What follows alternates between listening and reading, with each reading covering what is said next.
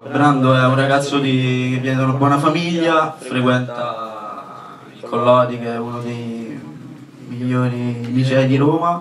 È un ragazzo che vuole sempre avere la situazione sotto controllo, vuole dettare legge, insomma vuole fare un po' il matto. Ci riesce benissimo. Ci riesce, eh, ci riesce, ci riesce, sì.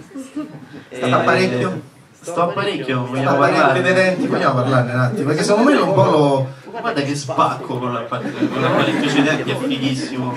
Appena me l'ha detto, appena me l'hanno detto ho detto oddio. Poi con Andrea, Andrea ha detto ma tu sei fighissimo con questo apparecchio.